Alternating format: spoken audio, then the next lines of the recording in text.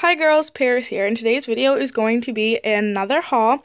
I went to my local chapter 11 and I had to get some more stuff because they had some really good deals again.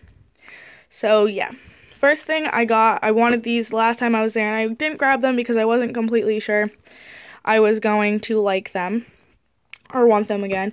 But I got a box, the U by Kotex Curve regular liners, 40 count.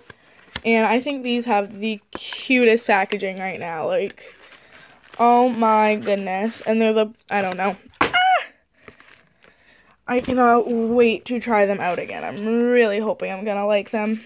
Um, I will set you guys right here and open one up for you. This is what they look like. Oh my gosh, I can't wait. I hope they're better than they used to be because before I didn't really like them that much, sadly. Um, sorry.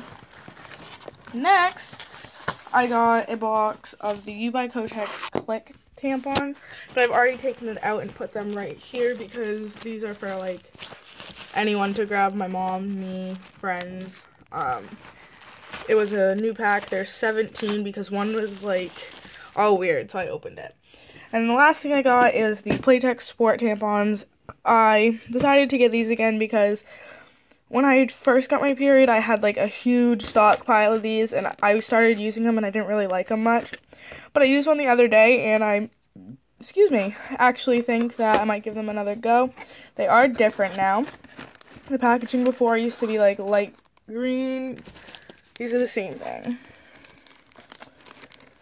So yeah, um, I did get unscented, and I'm hoping I'm gonna like these. So I got 36 of those for 350.